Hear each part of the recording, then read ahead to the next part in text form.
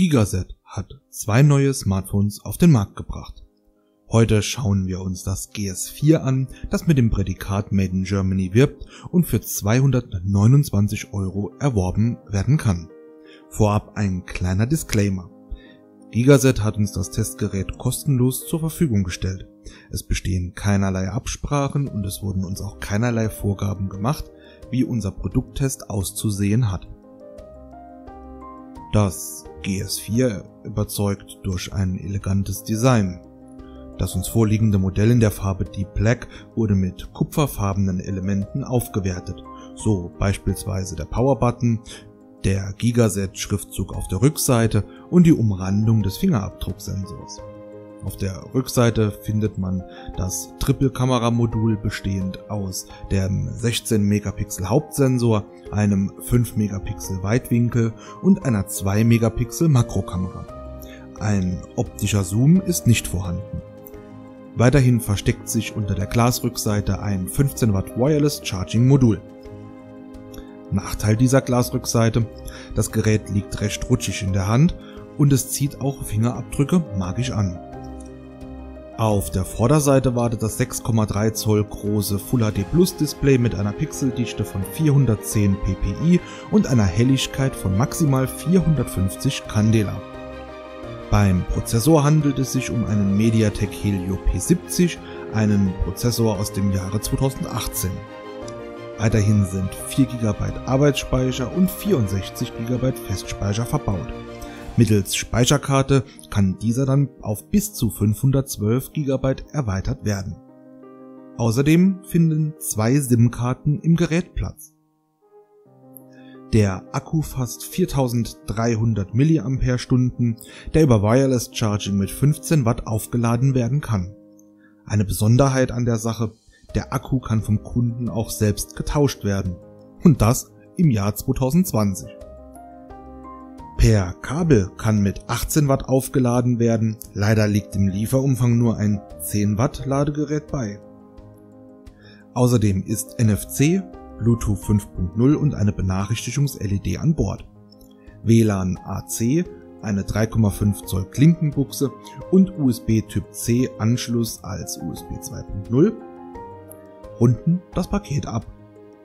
Als Betriebssystem kommt Android 10 mit dem Sicherheitspatch von September 2020 zum Einsatz. Hierzu später nochmal mehr. Kommen wir zur Qualität. Das Smartphone ist sauber verarbeitet, die Tasten haben einen festen ordentlichen Druckpunkt, die Endmontage der Geräte findet in Bocholt in Nordrhein-Westfalen statt. Ebenso werden Verpackung und Zubehör direkt in Deutschland gefertigt. Dies ist auch die Besonderheit, weswegen das Prädikat Made in Germany auf dem Gerät zu sehen ist. Die Leistung des Smartphones reicht für Anwendungen wie Social Media, E-Mail, YouTube, Telefonieren oder den Schnappschuss einfach mal so am Tag absolut aus. Für Spiele hingegen ist das Gerät zu langsam. Das Display ist für diesen Preisbereich tatsächlich ein Hingucker. Es ist schön hell, ausreichend scharf, groß und blickwinkelstabil. Die Hauptkamera macht insbesondere bei günstigen Lichtbedingungen ansprechende Fotos. Die AI-Unterstützung, die da groß beworben wird, schadet jedoch eher, als dass sie nützt. Im vorhandenen Pro-Modus lässt sich dann noch ein bisschen mehr rausholen. Die Frontkamera ist allenfalls Durchschnitt. Aber es gibt auch mal wieder Kritik. Denn wo wir gerade bei der Kamera sind, dieses Kamerasetup ist aus unserer Sicht eher auf Marketingzwecke ausgelegt. Die 2 Megapixel Makrolinse bietet ehrlich gesagt keinen Mehrwert, da die Bilder höchstens noch auf dem Smartphone-Display einigermaßen gut aussehen. Der Weitwinkel hat dann zwar 5 Megapixel, aber die Bilder wirken oft zu blass. Auch haben wir es nicht geschafft, die Weitwinkellinse im Videomodus zu verwenden. Ehrlich gesagt, aus unserer Sicht hätte man auf diese beiden Linsen getrost verzichten können. Der Klang der Lautsprecher ist ebenfalls eher unterer Durchschnitt. Alles über 70% Lautstärke klingt einfach nicht mehr gut. Aber die Lautsprecher werden recht laut. Probleme gab es auch bei WLAN und Bluetooth. Nach Verbindung eines externen Speakers brach uns die Geräteleistung regelrecht ein. Außerdem wurden wir alle paar Minuten aus dem WLAN geworfen und mussten erst einmal das WLAN am Smartphone deaktivieren und wieder aktivieren. Hier scheint es also noch deutliche Softwareprobleme zu geben. Bleiben wir auch dann gerade bei der Software, denn Android 10 mit Sicherheitspatch September 2020 ist auf diesem Gerät installiert. Ehrlich gesagt hätten wir Android 11 mit einem aktuelleren Sicherheitspatch erwartet. Ob dann Android 11 tatsächlich nachgeliefert wird, war zum Zeitpunkt der Produktpräsentation noch nicht klar. Ehrlich gesagt finden wir das schade.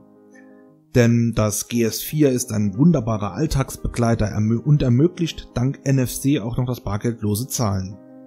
Hier sollte Gigaset endlich nachziehen und neben einer Update-Garantie auch monatliche Updates bringen. Das wäre sicherlich ein gutes Kaufargument, mit dem sich der Hersteller von der chinesischen Konkurrenz abheben könnte.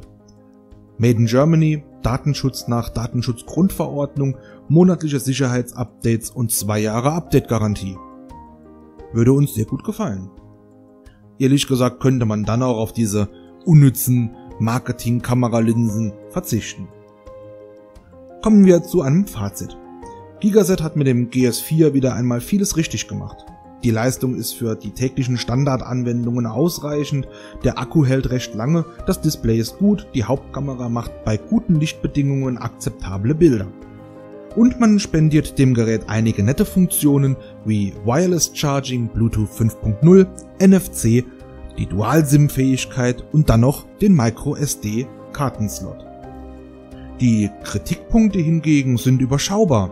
Wenn es Gigaset jetzt noch schafft, ihre zähe Update- und Softwarepolitik sowie diese Softwarefehler auszubessern und zukünftig dann auch gerne auf diese Marketing-Kameralinsen verzichten kann, dann hat der deutsche Hersteller tatsächlich die Möglichkeit, im Smartphone-Bereich Fuß zu fassen und sich dort auch dauerhaft zu etablieren. Wer also jetzt für weniger als 230 Euro ein solides Smartphone sucht und mit den genannten Kritikpunkten leben kann, der sollte sich das Gigaset GS4 unbedingt näher anschauen.